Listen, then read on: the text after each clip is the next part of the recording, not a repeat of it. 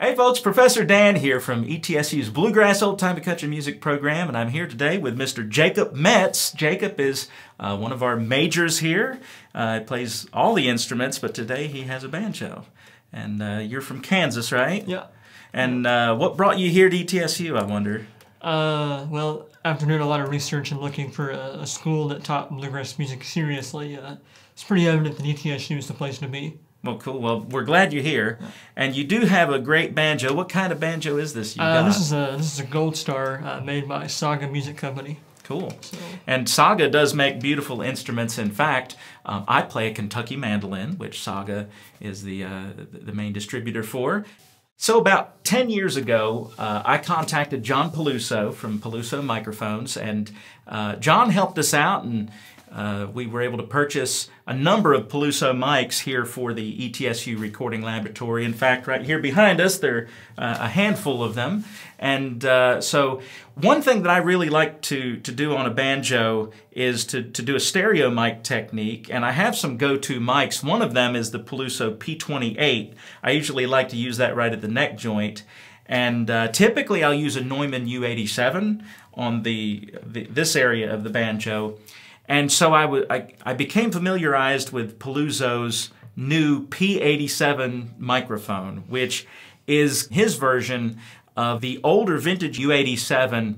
I told John, I said, man, it would be kind of cool if like the banjo go-to was, you know, a pair of Pelusos. So he sent me the P87 to try out. We're going to put a U87 and the P87 to where their capsules are just about as close as we can get them to where we can do a performance and we're going to use the Peluso P28 up here on the around the neck joint and uh, we're going to just record them both and uh, swap them out and see which ones we like the best or what characteristics we like about one, what characteristics we like about the other, okay? All right, so let's get to it. Yep. All right.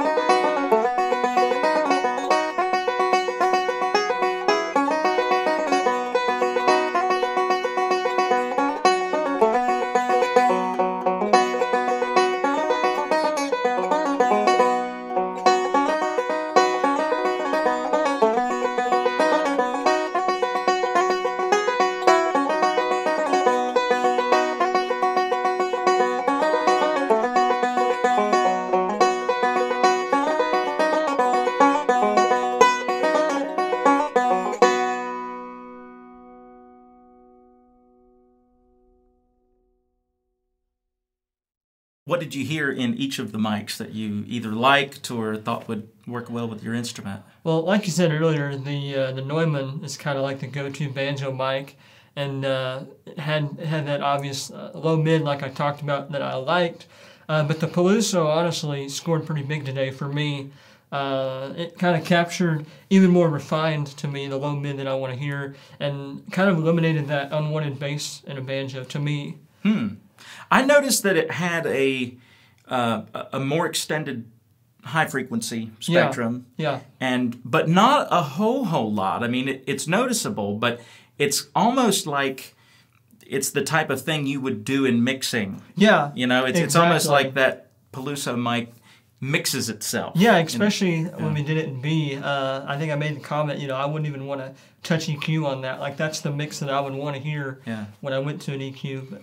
And and it was a little bit less forward in the mid range. Of course, the U87 is known for kind of that mid-range mm-hmm. presence that it has. So it was it was a little bit subdued in that area, but I liked the transient response the mic had. It, it wasn't slow. It didn't feel slow at all. It felt like it responded you know, all the way through the spectrum to everything you gave it when you dug in, and huh.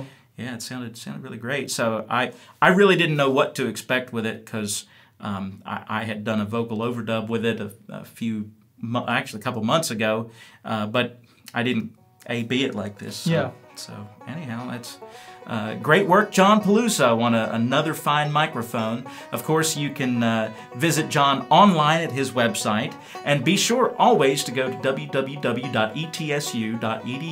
slash bluegrass to check out all the cool things we have going out here in East Tennessee State University. Uh, please visit also dansmusiconline.com if you want to find out uh, where I'm going to be. Do you have a website, Jacob? Not right now. I need to though. Go on Facebook then. Yeah. Check Jacob out on Facebook. So, yeah. all right. Well, very well. Thanks, man. Appreciate yeah. it.